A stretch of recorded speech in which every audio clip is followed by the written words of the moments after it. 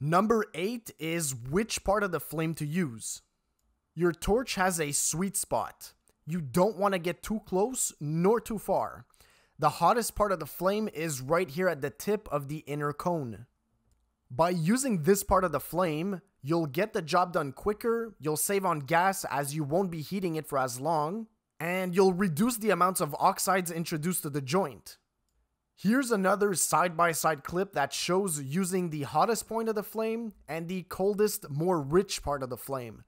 They're both heated at the same time and temperature, and we could see that the right side oxidized a lot more, which could prevent good capillary action.